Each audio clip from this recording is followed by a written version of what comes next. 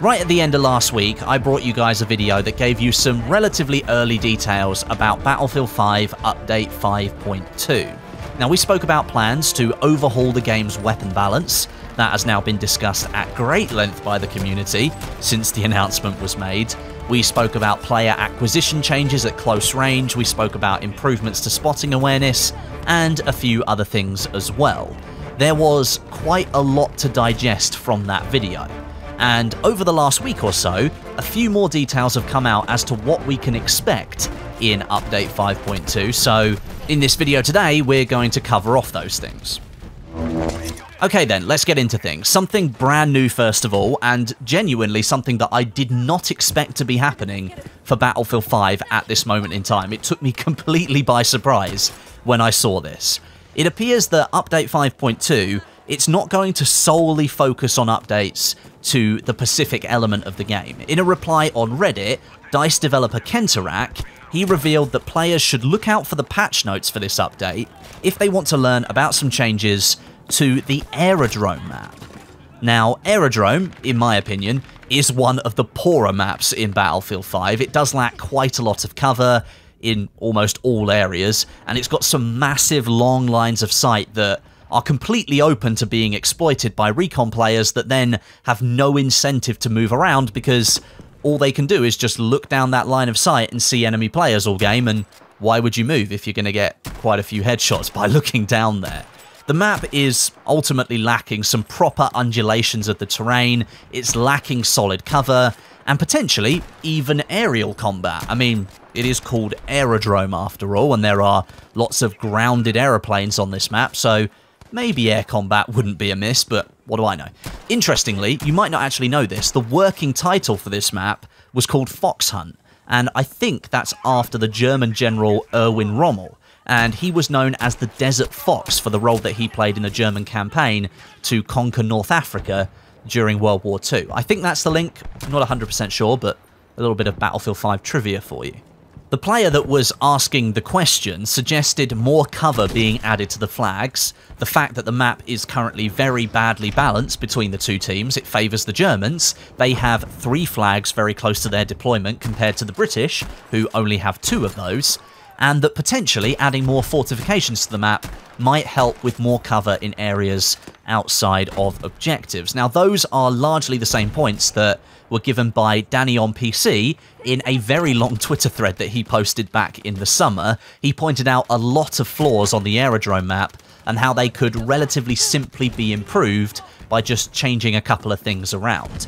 Who knows what this change to aerodrome is actually going to look like, but Danny did make some very good points in his Twitter thread, so I thought I'd shout that out here. As I said earlier, however, I just didn't expect this kind of work to come from DICE when they seem to be so focused on the Pacific Theatre right now. With that being said, if DICE is working to improve the content that they have already released, and we do end up seeing these aerodrome changes arrive in Update 5.2, then this could actually be really, really good news for Year 2 of Battlefield 5. We still have plenty of content left releasing for the Pacific chapter, potentially two more maps, and at least five weapons and gadgets, so plenty to come for the Pacific, and there will be more content coming after that as well, but if older content is also being improved, that's going to provide more reason for players to engage with that older content. And that adds even more value to the game. And of course, these are free updates as well, so you're not paying for any of these improvements. If older content can be improved, that increases the appeal and it brings it up to the standard of the new content that's being rolled out for Battlefield 5. That would really prove that DICE is running a proper live service for Battlefield 5, even if it has taken close to a year for it to, to get to that point. But let's face it, there's no way that DICE would have done this for older games in the franchise. Looking back to Battlefield 1 as an example, the last expansion, Apocalypse, the Somme map and the Caporetto maps, in my opinion, they were not very well designed, with mostly flat ground being used as a shooting range for whatever team happened to be defending on those maps. And they went through the community test environment. There was virtually no updates whatsoever to those maps, despite some solid community feedback. But here in Battlefield 5, we are seeing some updates to a map over a year after it was released, so that's got to be a good sign, and it does show that DICE is committed to improving this game in all areas, as opposed to just trying to move past those things and, and add brand new content instead.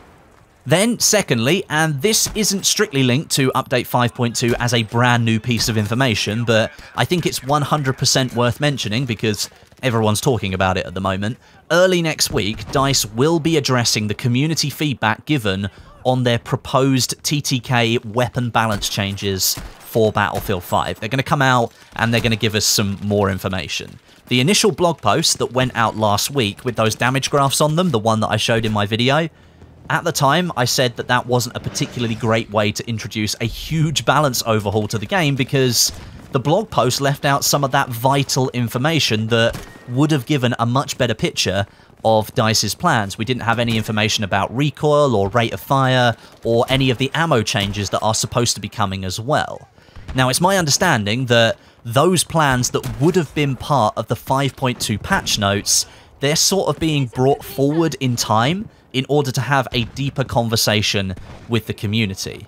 Now that to me shows that DICE is aware of the kind of impact that these changes could actually have on the game. So, for better or for worse, we're going to have a more detailed conversation about this change before it ends up in the game, and that at least means the community will be able to understand where DICE is coming from and perhaps see the data behind the changes that are being put in place. Alongside that, there will also be a separate discussion happening around the introduction of community games. This is DICE's proposed rental server system for Battlefield 5, and I'm sure yet again that will be another hot topic for the core community waiting for this feature. We still don't really know what this is going to look like when it releases, and it seems that that is the information we're going to be getting next week, and I believe that Jeff Braddock is going to lead that conversation. So, both of those things, a further bit of information about the weapon balance changes, and information about community games, that will be happening next week. So, keep your attention locked on the channel for videos on both of those topics.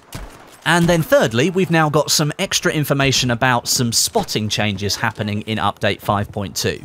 And these are going to go alongside those improvements to knowing when you're spotted. So I showed you that outline around the minimap for Update 5.2 that tells you if you're spotted. These spotting changes go hand in hand with that. So we've now got some extra information. According to DICE developer Drunksy and a tweet that he posted last week, the duration of spotting flares, the radius of spotting flares, and the duration of active spotting are all being reduced with update 5.2. Active spotting, that comes from elements like the Recon Spotting Scope gadget or the Recon Eagle Eye trait. There will also be some nerfs made to the spotting from vehicle flares. They're going to scale down similar to those from the flare gun, but the base duration and the radius of the vehicle flares will still be higher than that of the flare gun. These changes should not be confused with that new close range player acquisition icon system that was detailed in the blog post last week. And again, I did show you that in my video. Those two systems, they're working completely separately. That caused its own debate, which I think will be addressed in some way by DICE next week as well. There is an element of this new player acquisition stuff that plays into gunplay changes because if guns are going to be changing alongside the visibility of players in close quarters, then that's really going to affect how you approach certain situations. So I wouldn't be surprised to see DICE touch on that topic as well. So then, it feels like next week is going to be quite a big one for Battlefield 5, but this time it's going to be big for completely different reasons compared to the last time we had a big week. About a month ago, we were all raring to go for the launch week of Pacific content, and we pretty much got the best update that Battlefield 5 has ever had. Next week, it's not excitement in terms of, yay, we're getting new content, it's more just apprehension about how this game is going to change with Update 5.2. We're going to learn more about the super controversial weapon balance changes, and maybe get some insight into why DICE decided to do it at this point, and at least get some more detail than what we got last week in that other blog post. And we're also going to be hearing about community games as well, which, as I mentioned, is definitely going to be a hot topic when it's discussed. So, make sure you're tuned into the channel next week hit that subscribe button if you're not subscribed and make sure you've got notifications switched on. Click that bell and make sure they are on. I'll be covering all the news and information we get, so expect videos to be posted pretty much all the way through next week. And I'll also be launching my next merch design next week, and I'll give you a little hint here on the screen of what that actually looks like. So you'll see me shilling for yet another design here on the channel. There will be Black Friday discounts for this design as an extra note, so if you missed the first design, you'll be able to get this one a little bit cheaper this time around. But a big thanks for watching today, and until next time, my name is Westie, and I'll catch you guys in the next video.